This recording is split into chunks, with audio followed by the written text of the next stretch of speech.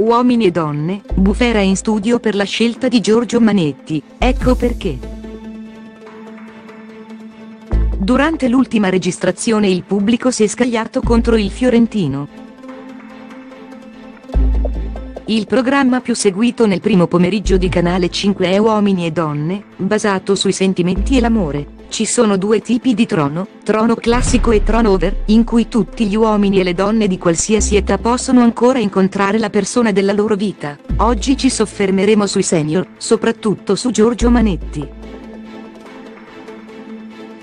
L'uomo è stato protagonista di una bellissima storia d'amore con Gemma Galgani, la quale lo ha successivamente lasciato senza validi motivi. La dama torinese, dopo aver provato ad andare avanti con la sua vita, è ritornata alla carica e sta cercando in tutti i modi di riconciliarsi con il gabbiano. Giorgio cederà al fascino della donna? Pioggia di critiche sulla sua scelta durante l'ultima registrazione del Trono Over, continuerà ad accontentare l'ex fidanzata?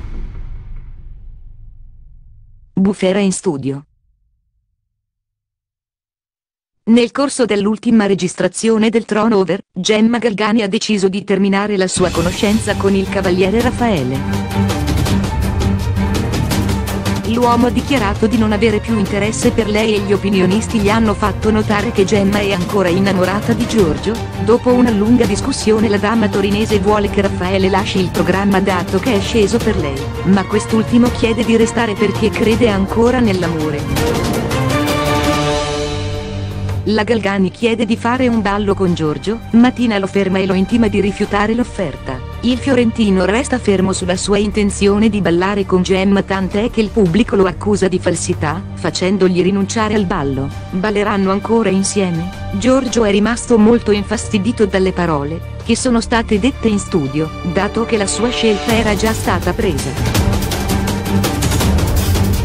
Con Anna e Paola. Giorgio Manetti ha deciso di dare ad Anna Tedesco un regalo per il suo compleanno, ma la sua scelta viene presa di mira da Gianni Sperti. L'opinionista è fortemente contrario, che questo gesto sia fatto in studio davanti a tutti, soprattutto perché tra di loro non c'è solo amicizia. Il fiorentino ribatte che si sarebbe aspettato un ringraziamento dagli opinionisti per il regalo, che ha fatto a loro e Gianni fa notare che non l'ha gradito perché si tratta del suo libro.